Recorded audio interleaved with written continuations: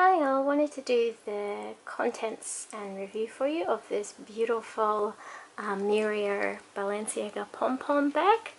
So if you saw the previous video on my channel where I did a reveal of this, my friend has been kind enough to let me borrow this for a while. It's a discontinued style, but a style I've always been interested in. Um, there not being a lot of places in Brisbane to try on Balenciaga bags, I never had a chance before, but she's kindly lent me this this one. Um, so I'll show you what fits inside. It's a really big bag. It sags down nicely, but you can see it's very large. Um, so it fits, obviously, a lot more than I'd usually carry. So I can put the wallet inside, put my keys in the back pocket there, put my phone in the front pocket, my Coach um, work pouch, keys and pass and everything, um, my little Louis Vuitton pochette, hand cream, um, sunglasses case. I can also easily fit a bottle of water in here. So I've just kind of sort of thrown everything in there that's what it looks like inside. As you can see, there's still plenty of space. It's a huge, big cavern of a bag because it's got the pom-pom has this rounded base. So everything kind of sort of fills in in any which way. There's no real organization to it where uh, something like a city bag has got a little bit more of a structure. This is just a big, big, beautiful cavern of bag. So the other things that I can easily put in here are something like a notebook that fits in really nicely. Um, if you, like me, have a cold office, you might have like an extra cardigan or a scarf in your bag. And as you can see, it's still not even full yet. I still got plenty of space to add more things in. The only reason I wouldn't add more in, and the only reason I probably wouldn't fill the bag up that much, is that it gets really heavy because you're carrying a lot of things. So don't let the size fool you. You can hold a lot and it can fit a lot. It's perfect if you carry a lot of things, but if you're carrying a lot of heavy things like bottles of water, um, wallets, um, if you have a lot of like keys or something in your bag, it does get very, very heavy. Um, the other thing to note is that when it's stuffed full like this, it changes the way that it hangs when it's worn.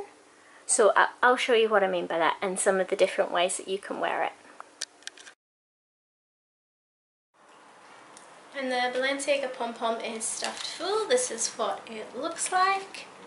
Um, it is very heavy because it has absolutely everything inside, um, but the weight is distributed well with these straps. So you can carry it handheld or over your shoulder. You can also tie the drawstring to pull in the shape of the bag a little bit more and again it still fits over your shoulder nicely. So with the long strap when you've got the drawstring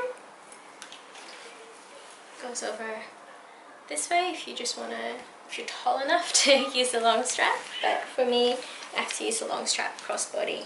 Now you can see that it is quite a bulky bag when it's worn this way. Again, it's stuffed full with literally everything um, and I am petite so it, does kind of overwhelm me a little bit. Pulling the drawstring in helps a bit. Um, one thing to note is if you don't pull the drawstring too tight, you can still reach in and grab things. When it's one-handed operation, it's very easy to see inside, grab what you need, rummage around a little bit because it does have that circular base. So you do rummage around a little bit, but you can easily with one hand find what you need although you do need two hands to pull the drawstring tight again.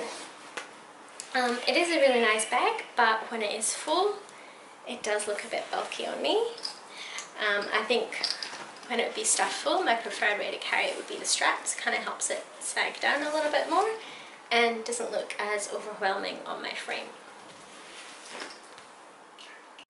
This is an absolutely beautiful bag. I love the color. The shape is so unique. It's not like anything else I have in my bag collection. I like that you can change the way the bag looks just by pulling the drawstring tighter. Um, it gives it a different shape. It looks different when it's worn. You can use the handles, you can use this big long strap. Um, and like all Balenciagas, it's super light, even with um, the extra metal around the um, the tie that holds it all in place, the drawstring. It's still a really light bag. It is easy due to its large size because this is the regular pompon. Um, it's so easy to overstuff it because everything fits inside.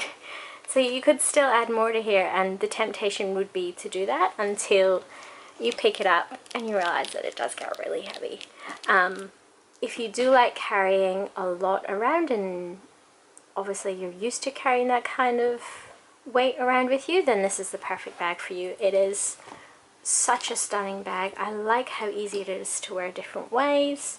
Um, it's easy to get in and out of. It's one-handed when it's on to reach inside and grab stuff. If you are considering getting it, I'd say go for it with the caveat that if you do fill it up to the brim, it is going to be heavy. Um, but if you want a big bag that carries everything and still looks good, this is a, a key contender. Um, it is discontinued, but you can find it on some resale sites. Um, I don't know if you have any luck finding it in this gorgeous purple colour. I don't think anyone would want to part with this. It's such a nice shade. Um, but yeah, I hope you enjoyed my little review for you. If you have any comments or questions, just leave them down below. And thank you very much for watching.